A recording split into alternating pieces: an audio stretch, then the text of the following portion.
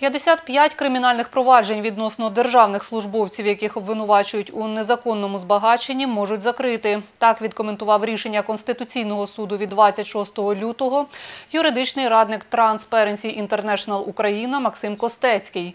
Йдеться про скасування Великою палатою Конституційного суду статті 368 з позначкою 2 Кримінального кодексу України.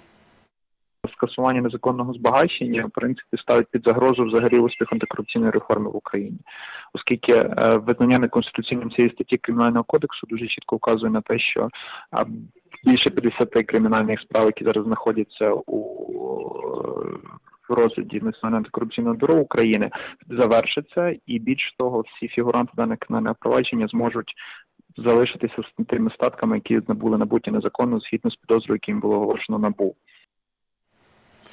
Наразі ми не маємо коментаря щодо ухваленого рішення від Конституційного суду. Його обіцяли надати нашим колегам із ЮА першого. Та голова суду Станіслав Шевчук упродовж сьогоднішнього дня на дзвінки не відповідав.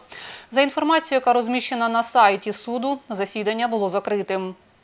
Всього кількість депутатів, що поставили свої підписи під поданням – 59. Найбільше підтримали ініціативу 23 депутати від фракції Народного фронту, по 11 від блоку Петра Порошенка та «Відродження», 10 депутатів від опозиційного блоку. «Воля народу» віддала три голоси і один представник Радикальної партії.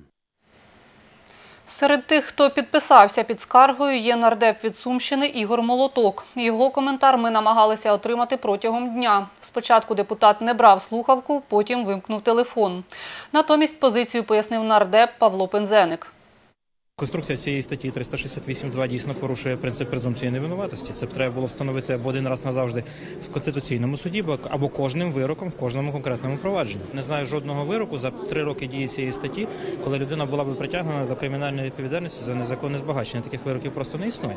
Е, Біля п'яти десятків е, проваджень перебувають на розгляді в судах. Видно, що ніякого іншого вироку по цим статтям, крім як виправдального, бути не може.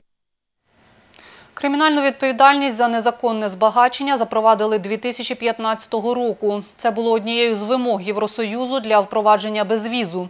Найтяжче покарання, передбачене цією статтею, позбавлення волі на строк від 5 до 10 років із конфіскацією майна.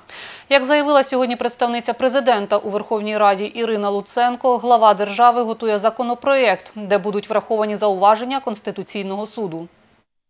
Президент невідкладно несе законопроект, де будуть враховані е, зауваження Конституційного суду, і ця стаття буде повернута уже без невідповідності українському законодавству, а власне відповідності українській конституції.